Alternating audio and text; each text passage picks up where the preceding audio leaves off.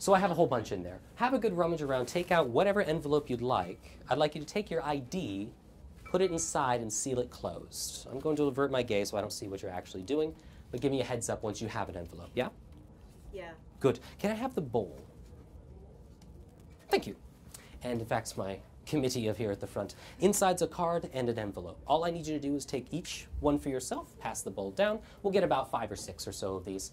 When you have a gift card and an envelope, just seal them inside. You are going to be our distractions, our placebos of the experiment, and so forth. I'll give that in a moment. All sealed inside and good? Oh, yes. Yes, okay, good. I can hear you just out loud so they feel involved. Uh, to your right, there's a big black board, it's a piece of foam core. I'd like you to take a piece of tape and tape your envelope onto that board, wherever you want. There is no right, there is no wrong, anything of the sort. So I've got one, two, three, four, five. If you last two would be the, that would be fantastic. If you want to see one and two, go for it. Go crazy. and I'll get that bowl out of your hands once you're all done. Great.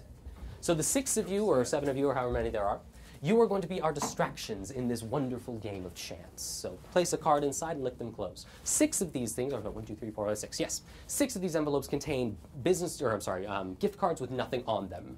They're, there's, they're of no value, they're pieces of plastic with some kind of interesting Starbucks logo on them. One of them contains something very valuable to Amy, her ID.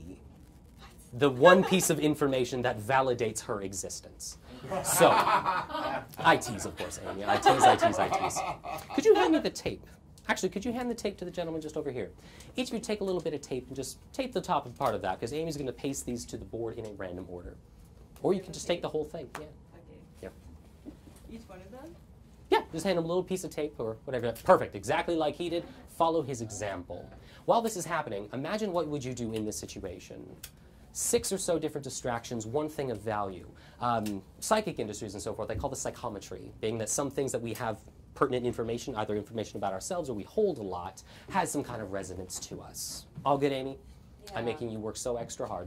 Could you all, actually, Amy, take that board, grab each envelope and stick it somewhere intermixed with yours. Make sure no one gets an accidental peek which in relation is to you. You are the only holder of the information that knows where yours is in relation to everything else. Okay. Good. Let's give Amy a big round of applause for doing so much. That was wonderful, Amy. Let's take a look. Okay. a hodgepodge of madness. So, six of these things contain gift cards. One of them contains your identification, your ID. At the moment, you have an idea which is which, yeah. Yeah. You do. Yeah, I do. We're going to change that. Could you rearrange these in any way that you want? So now we're going to make this double blind. Okay. I don't know, you don't know, he doesn't know, no one can know. Mm-hmm. Make sense? All good? Any idea? yeah. Vaguely? Maybe. Amy, you horrify me. But that's okay. One of these contains your ID. We cannot potentially know which is which. It's time to play our little game. Amy, if you could stand right over here for me.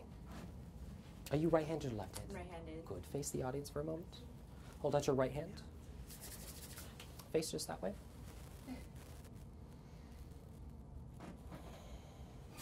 Stay just there.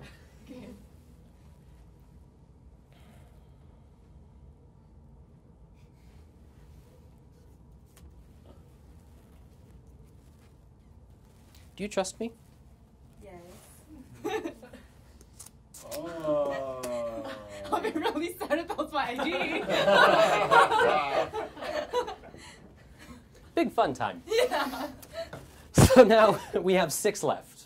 Hopefully, one of them being your identification. I'm going to try and get sense and vibrations from you to determine which is yours, like a divining rod would find water in a desert. Hold your hand out flat.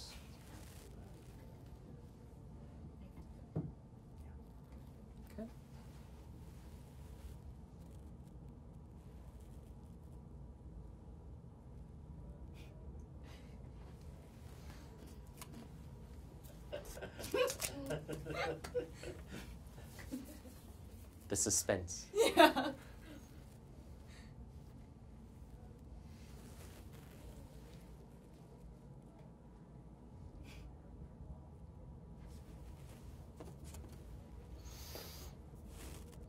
Second I touch it, it's gone. So now we're down to four. You have a 25% chance of being okay. If not, this could lead to an endless menagerie of mind numbing hours and hours at the DMV. Hold your hand out once again. Do you consider yourself hard to read? No, not really. Not really. You're a fairly open book. Yeah, I'm pretty open. Okay, I like you, Amy. Okay. Which would you go for next? I'm curious. Actually, no. No, no, no, no, no. okay. I have a fainting suspicion That was the one. That this was the Yeah, one. that was the it was the one. Well, let's hope you're wrong. So now we have three left. Hold your hand once again. I'm going to do two this time. okay. A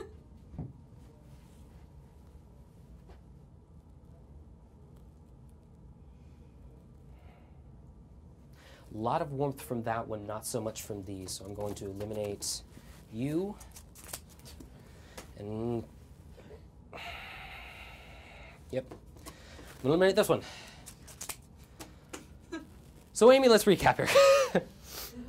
you came up of your own volition. You donated your identification that has been sealed inside envelopes. Six people had gift cards in them. You placed them in a random order. They were thus again mixed. No way any human could possibly have divined which one was which, correct? Yeah. Correct. Yeah. There's one left.